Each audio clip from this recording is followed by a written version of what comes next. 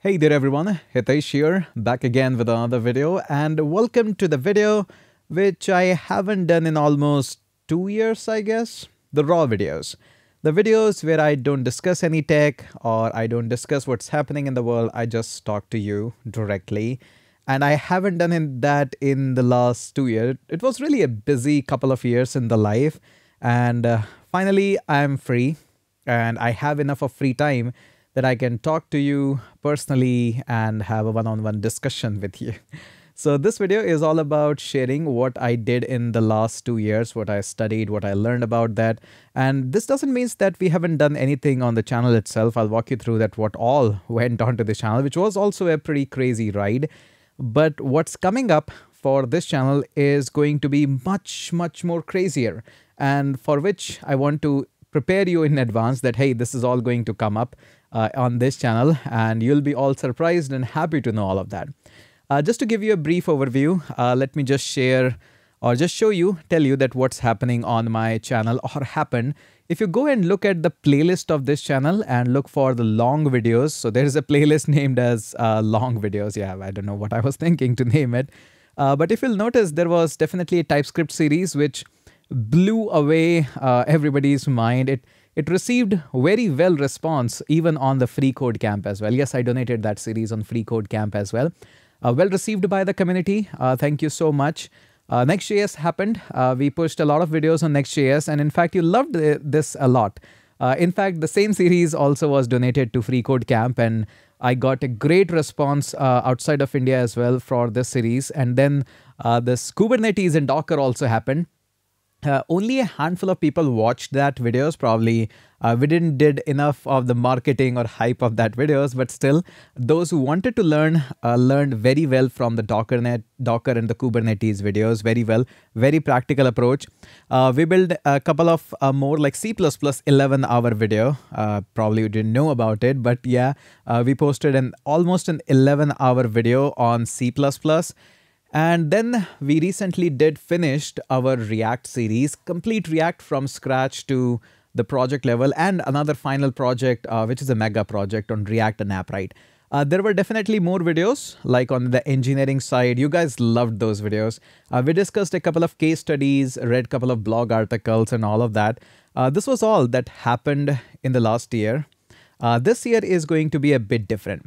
First of all, let me share that uh, I my initial thought was that hey, even in the last year, I thought that hey, this next year I'll be reaching out more on the cloud side of the world. I'll discuss more about Azure. I'll discuss more about AWS, and that was that was the initial thought.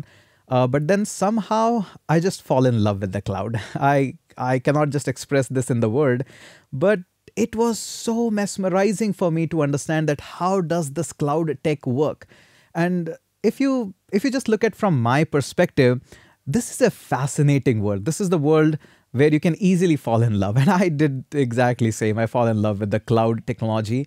After the programming concept, I think something which helped me saying that, hey, this is the revolutionary thing. This is going to change how we use our computers after programming is the cloud tech. And you might say that argue that, hey, this is not the cloud, this is AI, but my counter argument is, hey, even to run smoothly all these AI operations, you need solid background in the cloud.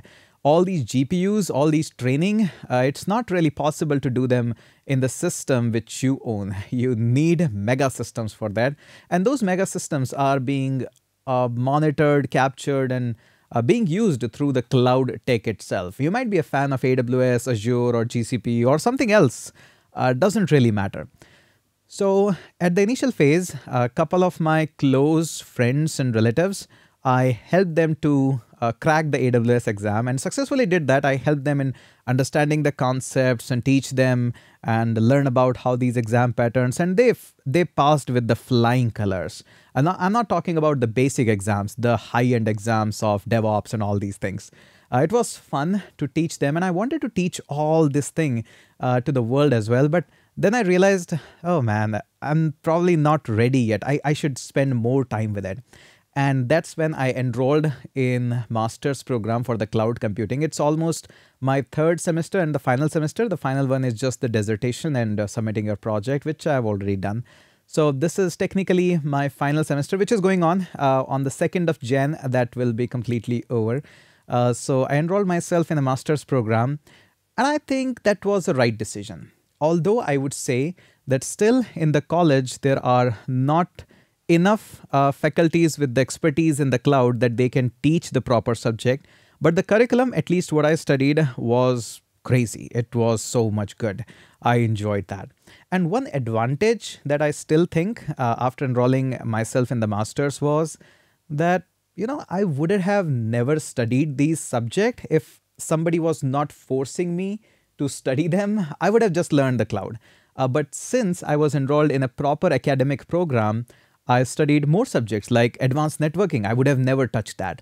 Advanced operating system. I would have never touched it. Or uh, subject. There were more subjects uh, similar to that, like advanced data structures and algorithm, advanced DA, and uh, some subjects like HR. I would have never touched the human resource subject, uh, but still I was in masters. So just to get those uh, credits, I had to study them. There was no option. So I think that was a good decision. Now on top of that, I'll share some of the exam, like what was asked to me in those exam, and that will give you the idea that how much formally studying the subject have given me the knowledge that obviously I will share with all of this to you, with you as well. But look at this. Uh, these are some of my exam papers and I'm not going to show you the exact question that came up, but there is also a philosophy of the paper, which is written at the top that will help you to understand that what kind of in-depth I went to study this.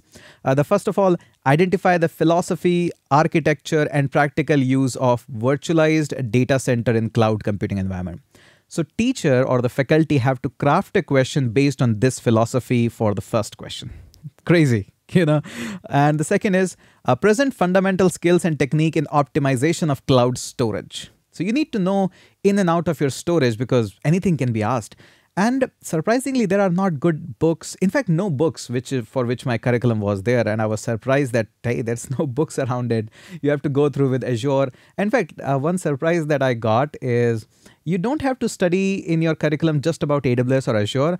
I was forced to learn about the Oracle Cloud and IBM Cloud. I would have never studied them. And even in my exams, one of the exams I was asked about uh, ESX. Like, who asked that? Like, I am pretty sure if there would be some student who have never worked in the industry, these questions are very, very tough for him. Solve common problem that can be encountered during the design and setup of backup slash recovery and replication solution virtualized environment. Godness. I don't know if you have if you have never worked in the cloud environment, you cannot solve these questions. Another one. Build understanding of key privacy concerns in storage strategy and governance security and regulation in the cloud security management. Man, this is just a first first exam paper. I'll, I'll show you one more that I have just to give you a brief idea that how complex things can be.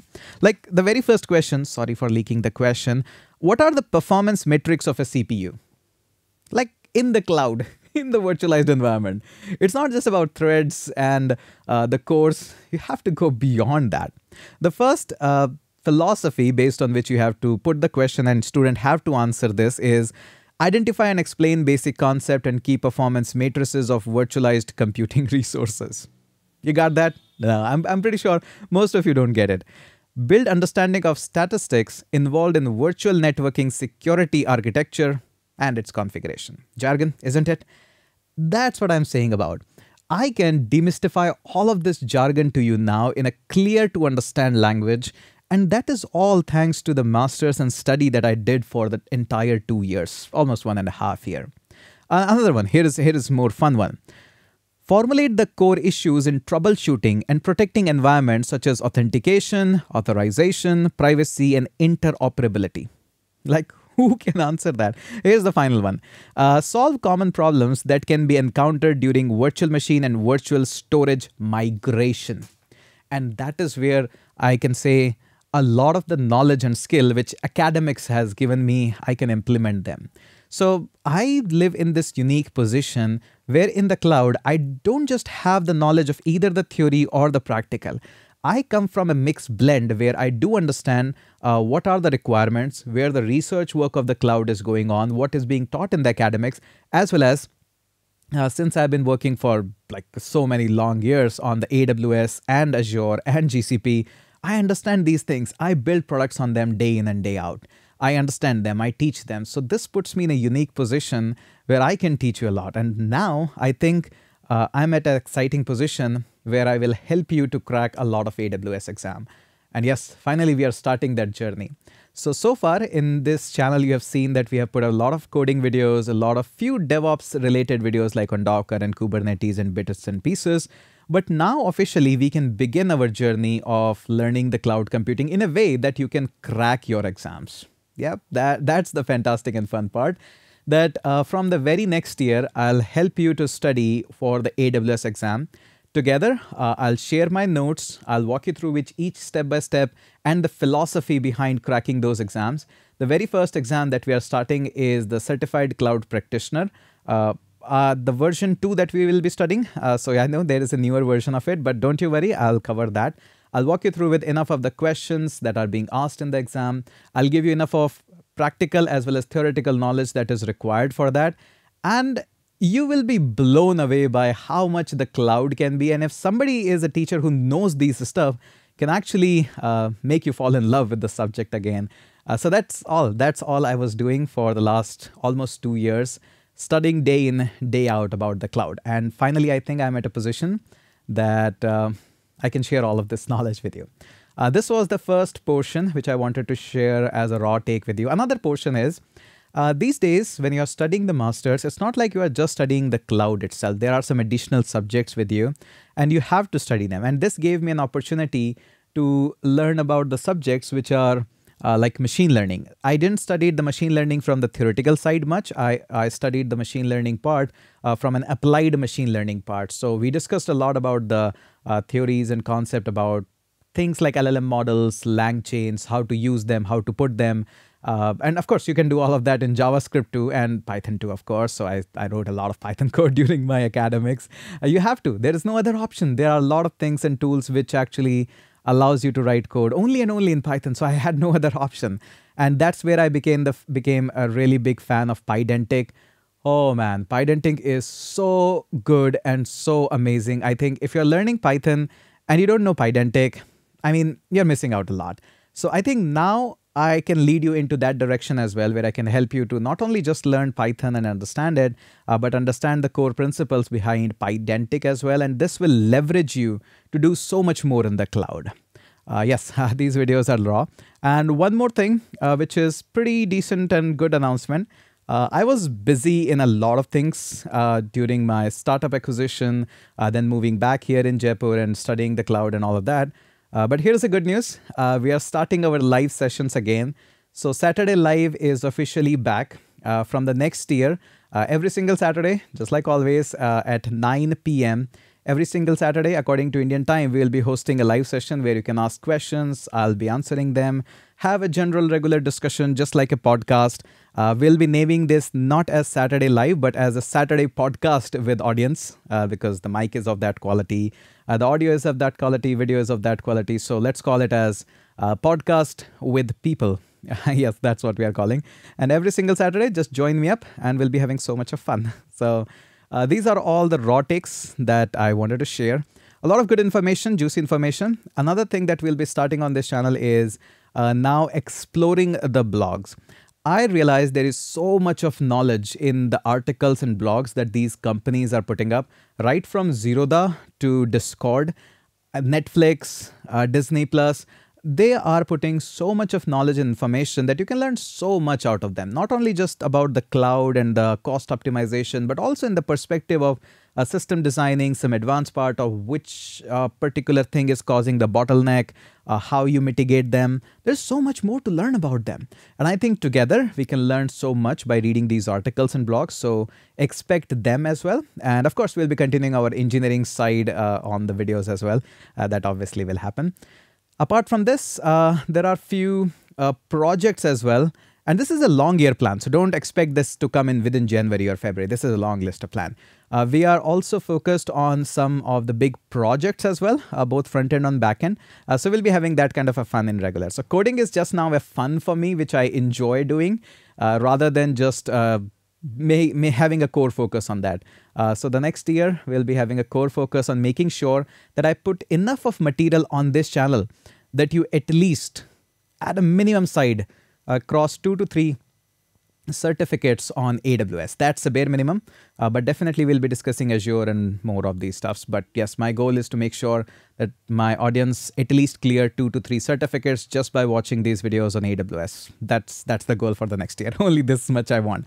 And if I'm able to do all of this, I think that's a great success. That would be great. Anyways, uh, so in short and in summary, uh, we'll be having a lot of AWS related material this year. I'll help you to crack a couple of AWS exams this year on this channel. Uh, we'll be posting a bit videos on the LangChain and couple of other techs as a full stack projects as well. Uh, Saturday Live is back, uh, but we'll be calling it as Podcast with People, uh, and that will be there Saturday night, 9 p.m. Uh, wait for this from the very next year. Uh, these are all the summary of what we'll be doing. Uh, again, feel free to share the video. If you haven't yet subscribed, go ahead do that because a lot of juicy information is about to come here. So let's start the journey with a fresh take on this channel. Super excited to get started with you. With fresh energy, uh, with fresh people, uh, just spread the word around and let's get started.